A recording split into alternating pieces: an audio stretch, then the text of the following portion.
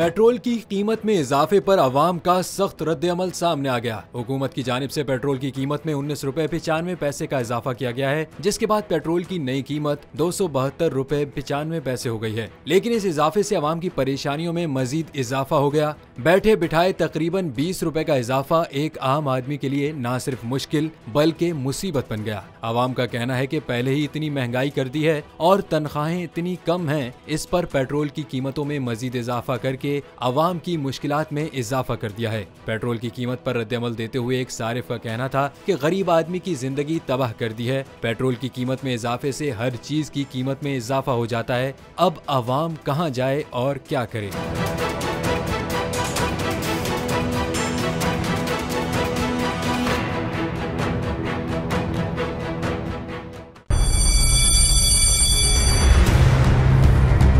जामियात में चलता गोरख धंधा।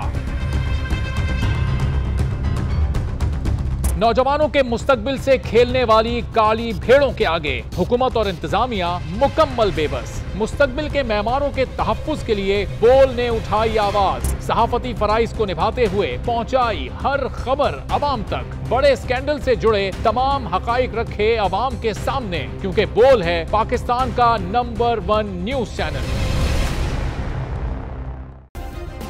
Subscribe करें और बेल दबाएँ ताकि कोई खबर रह न जाए।